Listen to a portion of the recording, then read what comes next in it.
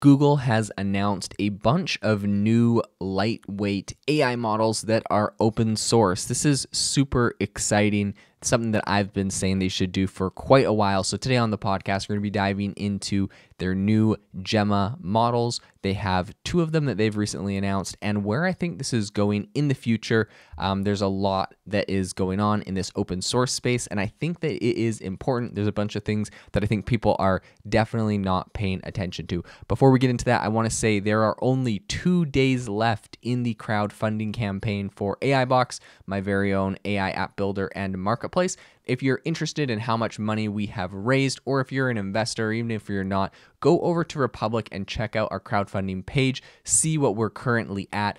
Uh, drop us a comment over there for some encouragement as we're finishing off this campaign and getting really excited to launch our new product, which is a no code AI app builder to help you automate virtually everything you do with AI tools. Now, let's get into the podcast.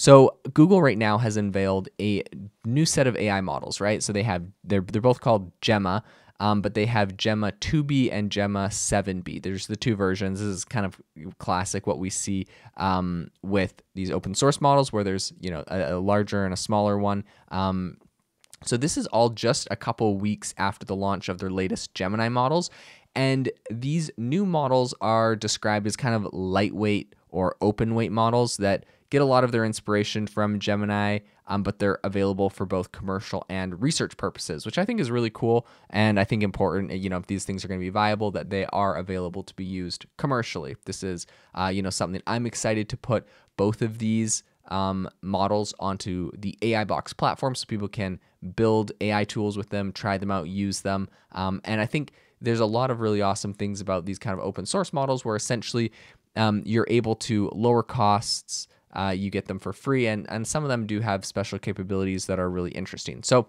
unlike their rivals Meta and Mistral, Google has not yet um, given exact detailed performance comparisons, but they are labeling the Gemma models as quote, quote unquote state of the art. I know that could just be kind of a, a buzzword, but the models are built on a dense decoder only architecture. So, this is similar to both Gemini and also um, early PaLM models um, they have performance benchmarks that are expected to be shared on Hugging Face's leaderboard soon.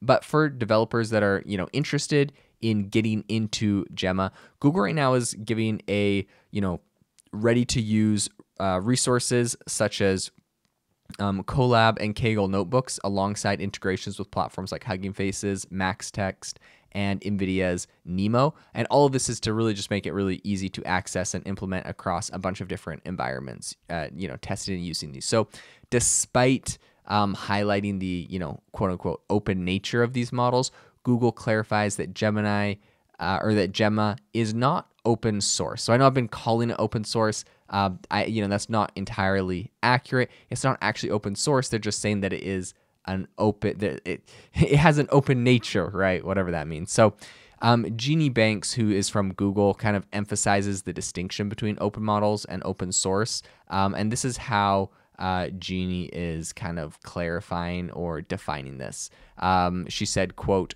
Open models have become pretty pervasive now in the industry, and it often refers to open." models or open weights models where there is wide access for developers and researchers to customize and fine tune models, but at the same time, uh, the term the terms of use things like redistribution as well as ownership of those variants that are developed vary based on the model's own specific terms of use. And so we see some differences between what we would traditionally refer to as open source and we decided that it made the most sense to refer to our Gemma models as open models. So Google says that the Gemma models sizes are, you know, versatile enough to, you know, work for a huge range of use cases.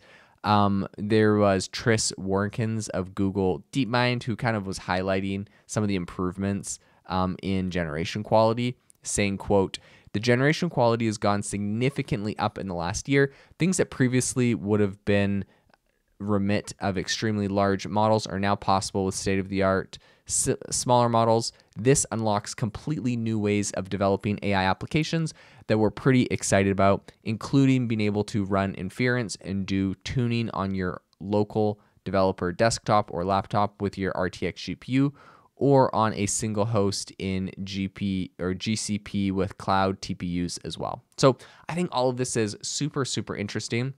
Right now, as I think we see kind of the AI industry continuing to evolve, um, there's a lot of real world kind of performance of Google's Gemini models um, that we has that is you know yet to be seen.